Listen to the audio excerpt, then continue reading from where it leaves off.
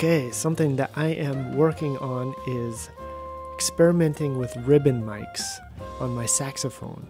I have done a lot of recording using condenser mics, and these oftentimes will bring out a harshness on my saxophone, especially in the upper register. Um, they're very good mics, but at least the ones that I've been using a bit um, do bring out some of this harshness. So I'm looking into ribbon mics to see if they work well with my saxophone. So I'm going to be trying out three mics today. Um, they're all somewhat similar in price range, kind of low to mid price range, and maybe 200 to 500 dollar range. So I'll be trying out the SE Voodoo VR1, the brand new Royer R10, and the Cascade Fathead. So check it out. Let me know what you think. I know I'm going to be studying these like crazy to find out which ones bring out the qualities of my horn that I like the most.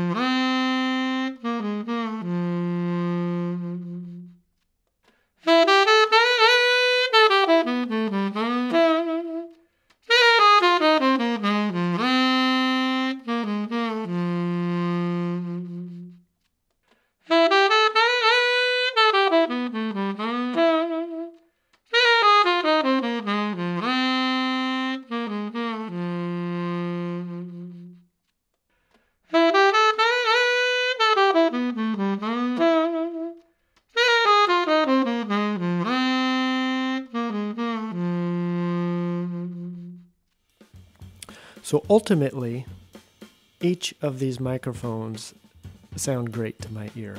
They all have very subtly different characteristics. Uh, some are a little truer to the actual sound of the saxophone. Others kind of uh, shape the frequencies a bit in different ways. I think some are very obviously different from one another. And as much as I think a transparent sounding microphone is important, like you want a microphone to capture the sound of the instrument, especially if we're going for an acoustic vibe and I want the mic to actually um, pick up the true sound of my saxophone, then of course transparency is something that we look for and and that's uh, what you pay big bucks for in these high priced microphones. However, I also think there is some merit in choosing uh, the coloration of a microphone that you think works well with your sound. And so that is something else that I'm listening for here is not just what is the most transparent, but which coloration do I personally like the most with my saxophone sound. So let me know what you think, and I will uh, reserve judgment on this video, but um, in future videos, I'm sure you will see which microphone uh, or microphones I am using primarily with my saxophone. So stay tuned if you want to see which one is my favorite.